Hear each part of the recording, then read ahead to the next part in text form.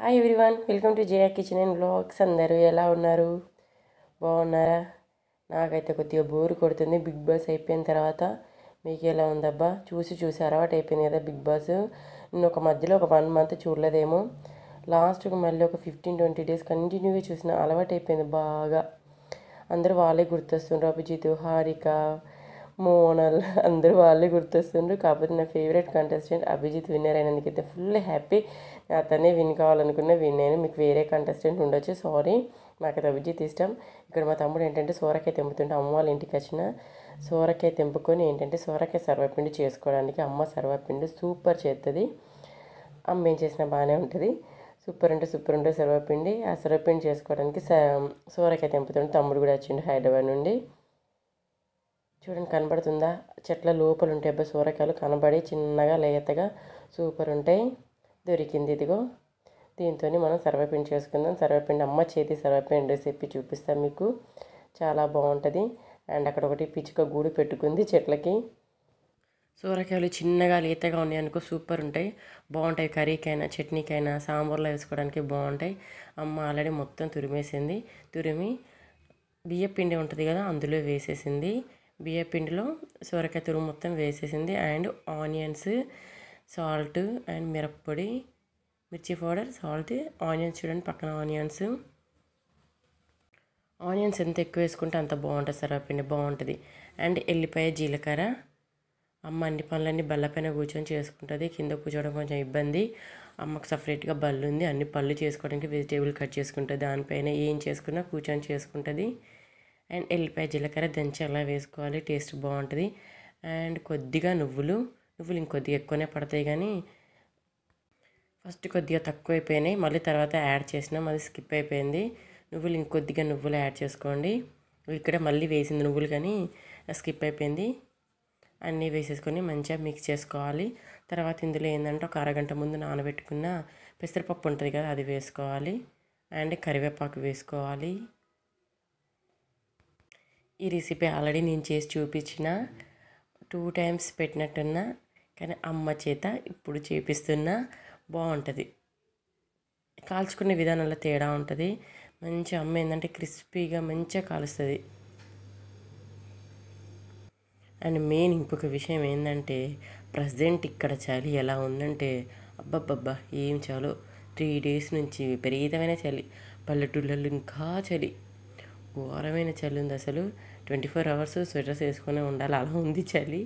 బాగా చలి ఉంది అండ్ పెసరపప్పు నానబెట్టిన పెసరపప్పు ఒక అరగంట ఒక పావుగంట ముందు నానబెట్టుకుంటే చాలు. అండ్ తర్వాత కొద్ది కొద్దిగా వాటర్ వేసుకుంటే మిక్స్ చేసుకోవాలి. వాటర్ అయితే కావాల్సిన లేకపోతే సొరకాయ తురుముకుంటాయి కదా దాంతోనే అవుద్ది. కాకపోతే ఎక్కువ మనం పిండి వేసుకున్నప్పుడు కొద్దిగా వాటర్ పడితే తక్కువ పిండి అయితే సొరకాయతోనే సరిపోద్ది సొరకాయ తురుముతోని. ఎక్కువ మంది కాబట్టి ఇప్పుడు మేము క్వాంటిటీ ఎక్కువ చేసుకోవడం అండ్ తర్వాత ఆయిల్ వేసేసుకొని ఇలా నూకుకోవడం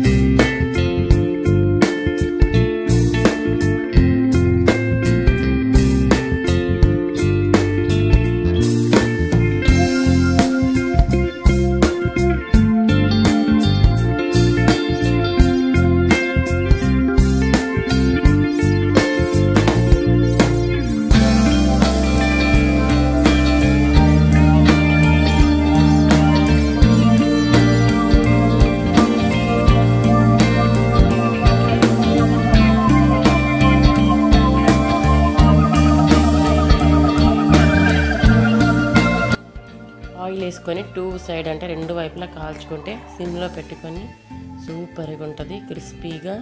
అండ్ దీంతోనే దాన్ని చట్నీతో పాటు తినచ్చు ఇలా అయినా తినచ్చు. పెరుగు పెట్టుకొని తిన్న కూడా బాగుంటుంది చాలా బాగుంటుంది పెరుగుతో కూడా ఇది.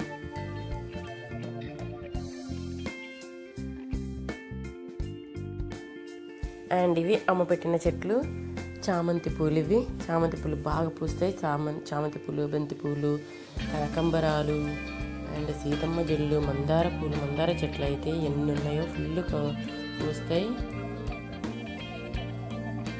చామంతి పూలు చూడండి ఎంత నిండి ఫుల్ పూస్తున్నాయి. అండ్ బయట ప్లేస్ అంతా ఇలా ఉంటుంది ఇంటి ముందు. రేకులతో అలా వేసిండ్రు అంటే బట్టలు ఆరేసుకోవడానికి కూర్చోవడానికి. అదంతా అమ్మ వాళ్ళ పెరడు అది బావి అక్కడ. అంత పెరడు బెండకాయలు వంకాయలు టమాటాలు అవన్నీ వేసిండ్రు. చిన్న ఇల్లు అమ్మ వాళ్ళది డబుల్ బెడ్ ఉంది. అండ్ బయట ఏమో ఇలా ఉంటుంది ఇదంతా బయట. ఇదంతా టీకు సామాను ఒక పురాతన కాలం నాటి చైరు బెడ్లు అవన్నీ బయట పడేసిండు. కాకపోతే కట్టె చాలా మంచిదట అది. టేక్ కట్ అంటారు కదా అప్పటిది. అండ్ తెలుసమ్మ చాలా ఉన్నది చెట్లు అయితే అడుగడుగులు ఉన్నాయి. పల్లెటూళ్ళల్లో మంచిది ఇది చెప్పిన చాలా వీడియోస్లో మీకు. చాలా చెట్లు ఉంటాయి మంచిగా. మందారం చెట్టు. మందారం చెట్టు అయితే ఎంత పెద్దదంటే ఎన్ని పూలు పూస్తుందంటబ్బా ఫుల్ అండ్ ఈ పెరట్లో వేసిన బెండకాయలు. బెండకాయలు మిరపకాయలు వంకాయలు కొద్ది కొద్దిగా కాస్తాయి. అవి కూడా ఏంటంటే ఇంటి ముందర వాళ్ళు వాళ్ళు పెట్టుకున్నారన్నమాట తోటలాగా. ప్లేస్ ఖాళీగా ఉంది కదా అని తోటలాగా వేసుకున్నారు. అంటే వాళ్ళు అమ్ముకుంటారు అన్నమాట మనకైతే మనదే ప్లేస్ కాబట్టి కొద్దిగా వాళ్ళు ఇస్తారు అండ్ వాళ్ళ ప్లేస్ ఖాళీ ఉంది కదా అని అమ్మ వాళ్ళు కూడా వేసుకోమన్నారు. మేము ఎలాగో ఏం చేసుకోలేము. మీరు చేసుకోండి అని. అమ్మ వాళ్ళు ఇద్దరే కాబట్టి వాళ్ళకి అంత అవసరం లేదు కూరగాయలు అవన్నీ.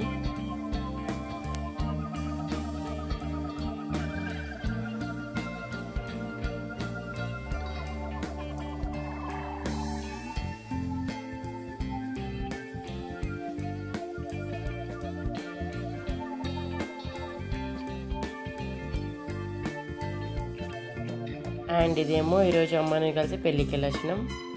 పెళ్ళిళ్ళు ఏం జరుగుతున్నాయి అంటే ఫుల్ జరుగుతున్నాయి. కరోనా ఉన్నట్టే లేదు. రోజు నేను రెండు మూడు పెళ్ళిళ్ళకి వెళ్ళొచ్చిన. అండ్ ఇదేమో అమ్మతో షాపింగ్కి వెళ్ళిన రోజు. ఫ్రెండ్స్ ఇదండి ఈరోజు బ్లాగ్. బ్లాగ్ నేస్తే తప్పకుండా లైక్ చేయండి. And bye take care